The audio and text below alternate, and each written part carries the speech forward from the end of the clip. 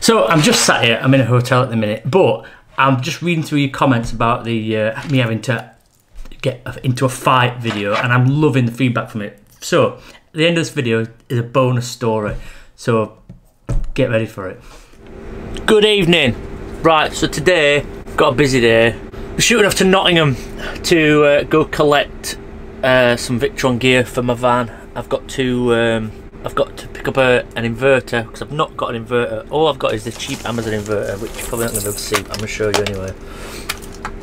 Oh, it was powering my light. That thing, there you go. That thing I have had for 18 months ish, I reckon.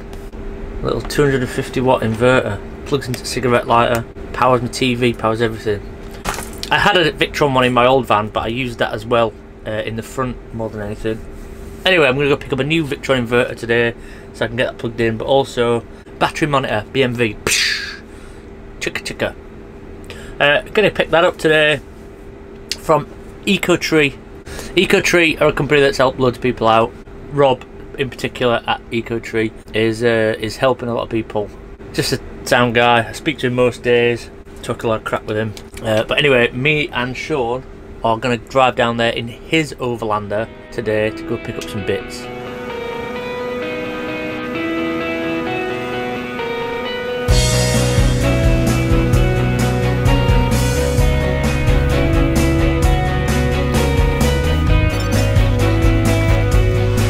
Says I did some filming at uh, what they call it,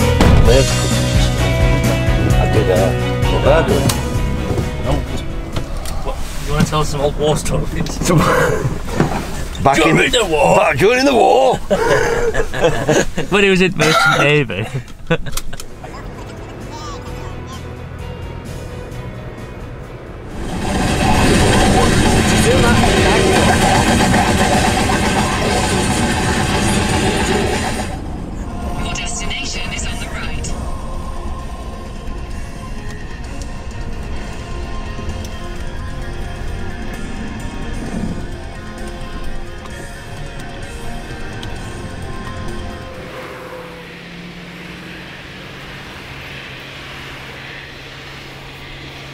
For this, shall I zoom out?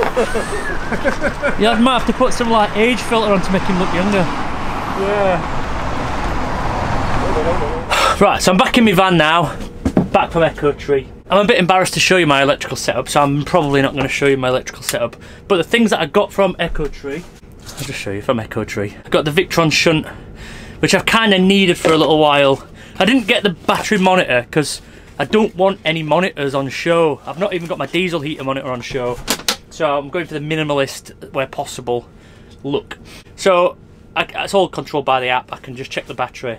Having this lithium battery, I'm a bit paranoid about things, so that's where, why I really want to be able to monitor it properly. But also, I've got this. So this is the Victron Phoenix 800 watt inverter. Now, in my last van, I had the 500 watt inverter, and the only time I ever needed more than 500 watts was charging one of the power up units. So I just this time, I just thought, you know what, I'll go a little bit bigger. And I'm probably never ever going to need to power something at 800 watts. I'm going to install that today. I don't use a lot of stuff, a lot of electrics, so I'm going to use this, which the transit van customers kind of let me use. It's left over from her build. So I'm going to wire the inverter straight to this.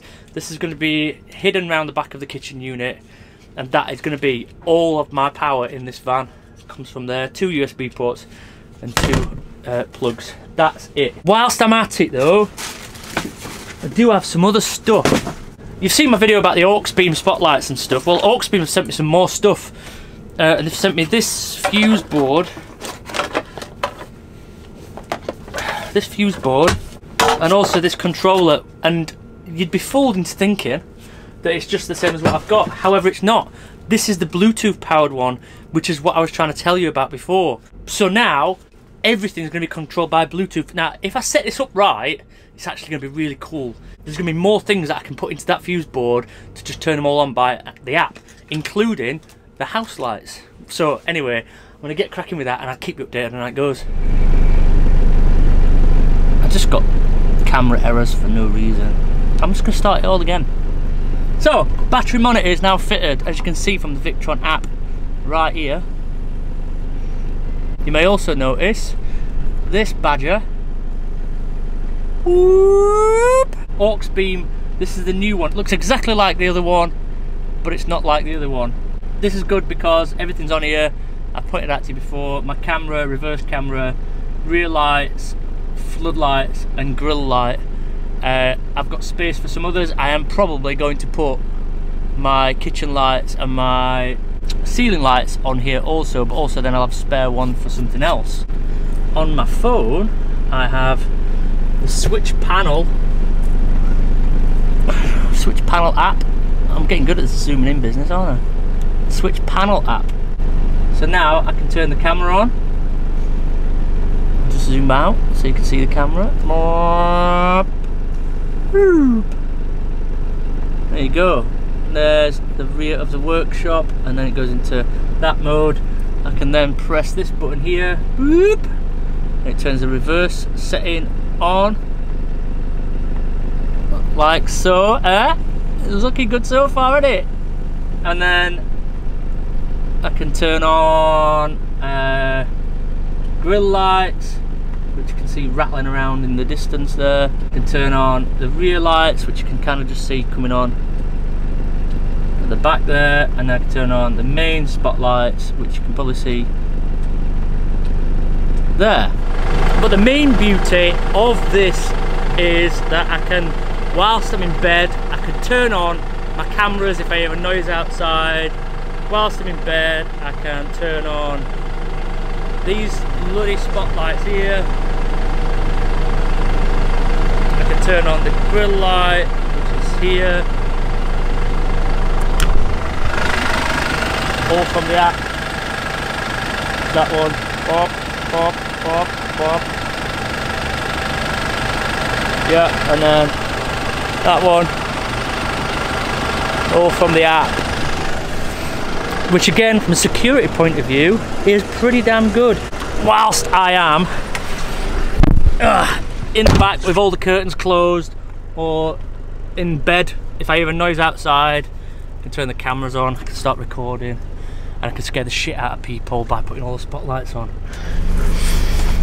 So as you've just seen, this is the inverter I've got, 800 watt inverter.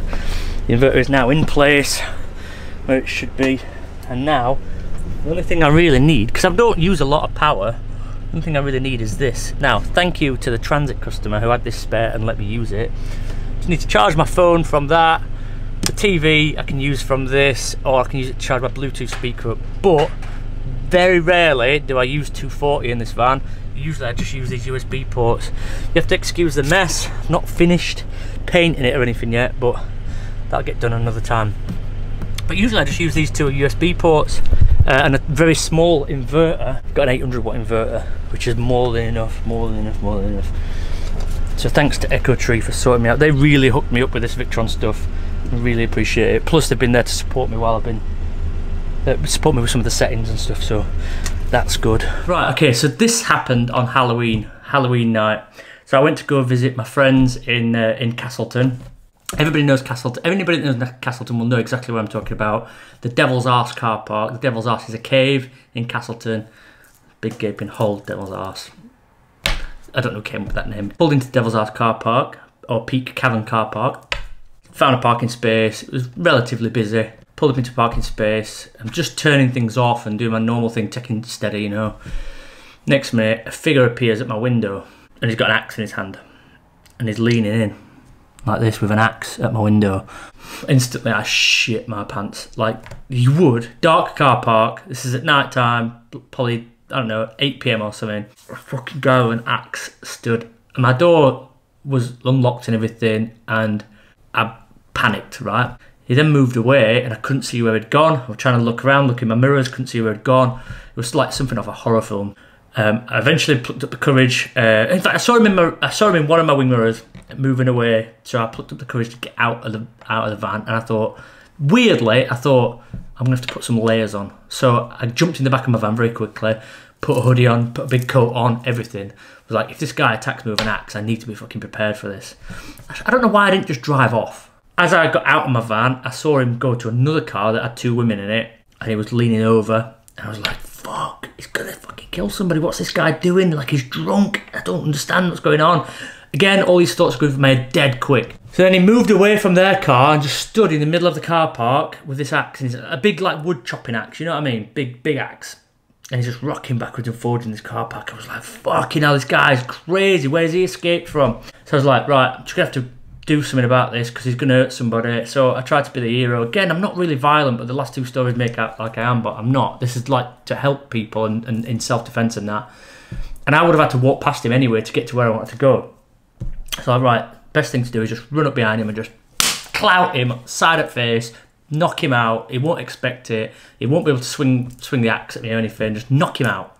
So I snuck up behind him, and last second, he, had the axe sort of down at that point. At last second, I changed my mind from the sucker punch and decided to grab the axe off him. And what I thought to do is, if I grabbed a hold of the axe firmly and pulled it down, he wasn't holding it the tightest he could hold it because he wasn't expecting anybody to try and take it off him. So I snuck up behind him, tried to grab the axe and pull down as hard as I can to get it off him, and then I could disarm him.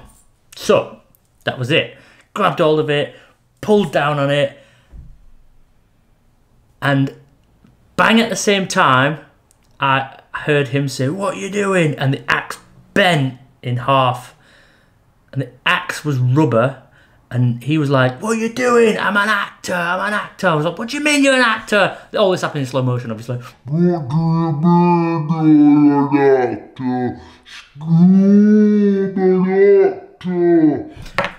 I'm part of the thing that's going on here. I was like, What fucking thing?